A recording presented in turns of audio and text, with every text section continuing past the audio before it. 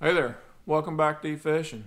We're still down here in the garage at the workbench, and we're still doing some custom painting crankbaits and some cold water patterns. So we still got a rock crawler, another rock crawler here, knockoff blank. It's painted up, ready to go. So today we're going to do a shad colored bait that I call hot shad. So if you guys like this kind of stuff, give it a thumbs up if y'all pick something up, more importantly, go down there and hit that subscribe button. We're on our way to a thousand subscribers, and anybody that subscribes, it greatly helps this channel out. So, anyways, we're ready. Let's go painting. All right, we're ready to start crankbait number two here, and this is going to be a hot shad. And this is one I kind of come up with, and this is a real easy pattern for you guys to fit to paint. So, what we're going to start out with is this Createx pearlized silver. So we're going to start with that and we're going to coat the whole whole crankbait with it.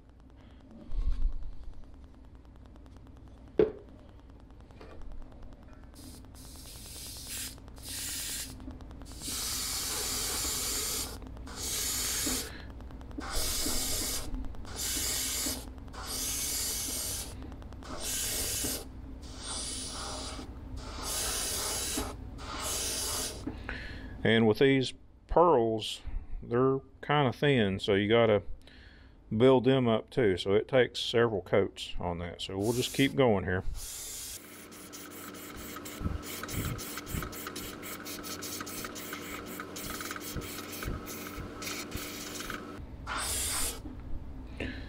All right, we're going to heat set that and then we'll be right back. All right, here we go. Let's do coat number two.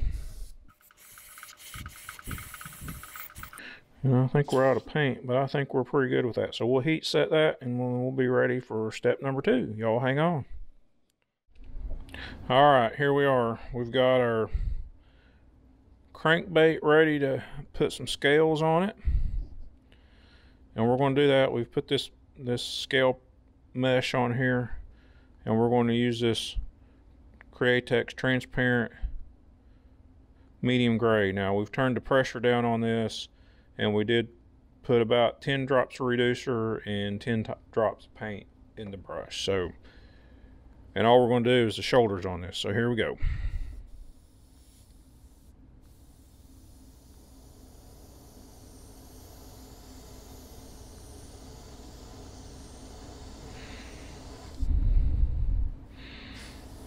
And we'll come up on the back a little bit too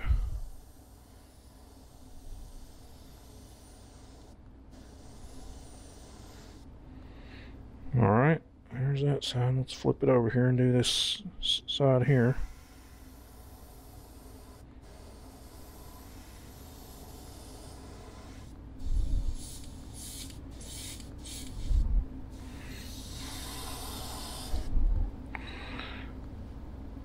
And there we go. I think we've got our scales on there. We're going to heat set this and we'll take this off. So we'll be right back.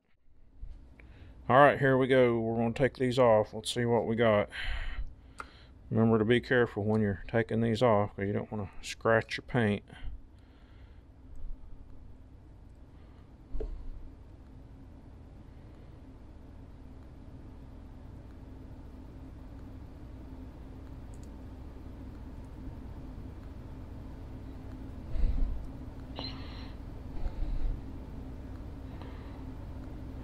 There we go.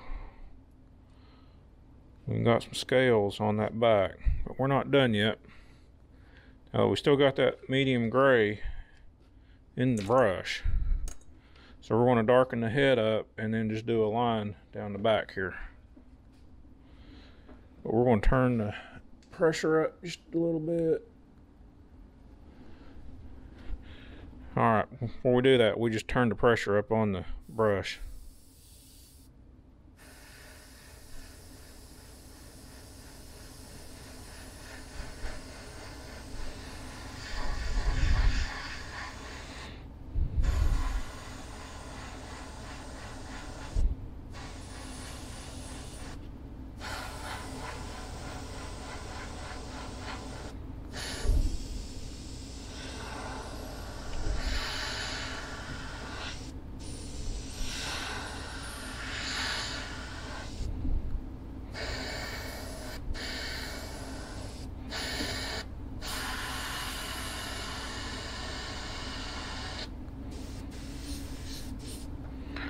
Feel like my brush has got a clog in it. We'll put this thing on this thing here to do this. So that I get a straight line.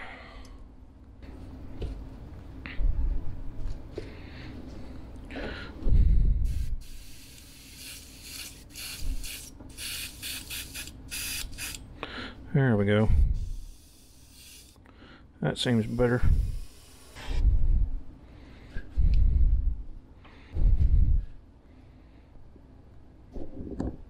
Let's move the camera here.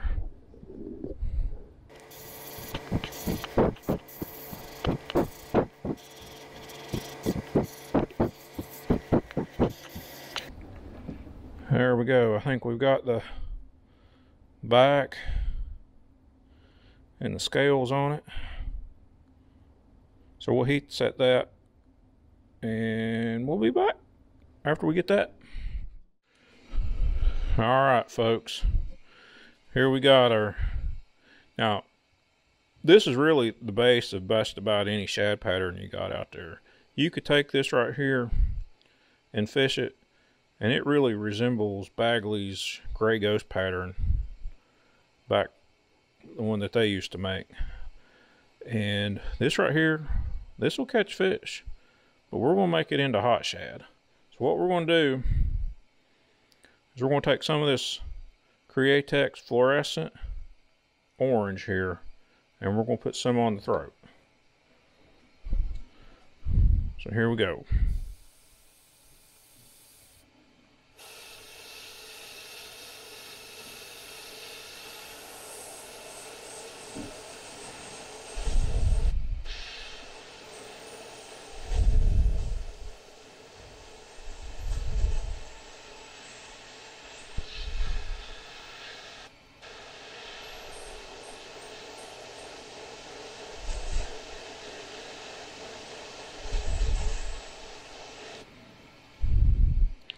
And that's all we got right there. It's just a little bit orange on that throat. But we're not done making it into hot shad yet.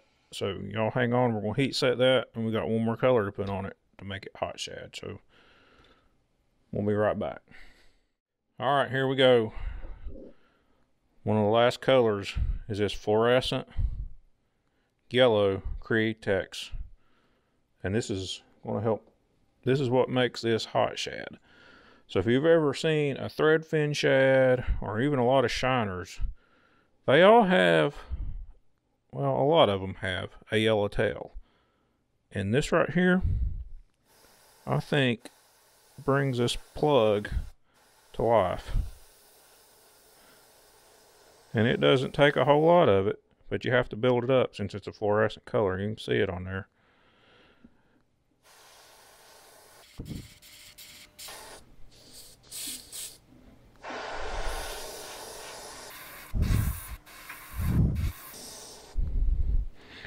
Just want to take your time doing this. Right there it is. That's all we're going to do. And that just, that little bit of yellow on that will make this crankbait really pop. And that's what makes it hot shad. So we're going to heat set that and we're going to come back and we're going to put a shad dot on it and then we'll be done with this one. Well, we'll do eyes too. Hang on. All right, our one of our we're about to the end of this one, but we need to put a shad dot on it. So we're going to use this Createx transparent black for that. So we've got it loaded up. And to do that, all I've done is take some painter's tape, double it up, just punch used a hole punch to punch a hole in it. So here we go. We're gonna try to line this thing up and get that sucker on there.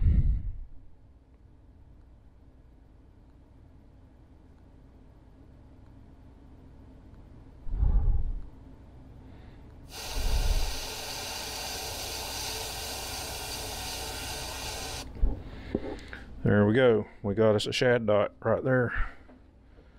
Let's flip it over.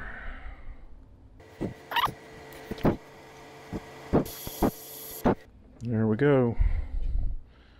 Got shad dots on there.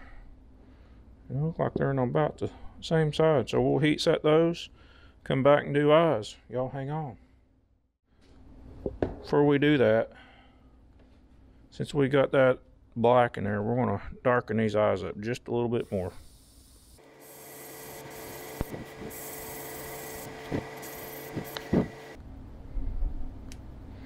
There we go. Let's heat set this. All right, we're ready to do our eyes here, but we're not going to make them quite as big as we did the last time. We're just going to barely dip that Q-tip in and make a small dot like that, and then we're going to come back and make that red. So we're going to do that on both sides.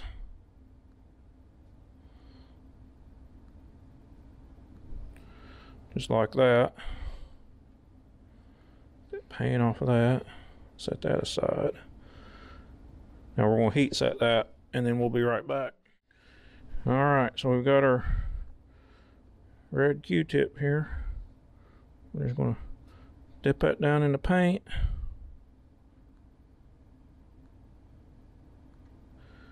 And dip that again. Just Get enough paint on that. Just like that. Now we got a red pupil. So we'll get down into a point there.